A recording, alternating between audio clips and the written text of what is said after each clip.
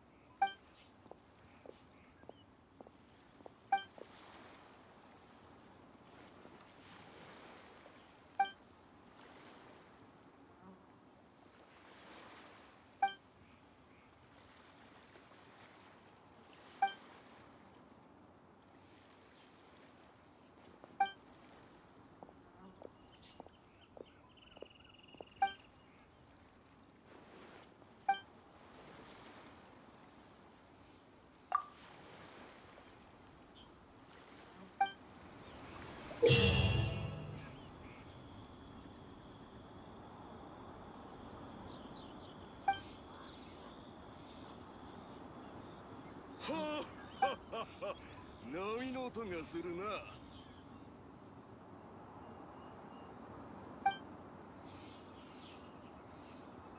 この記号は何ていう意味なのかしら？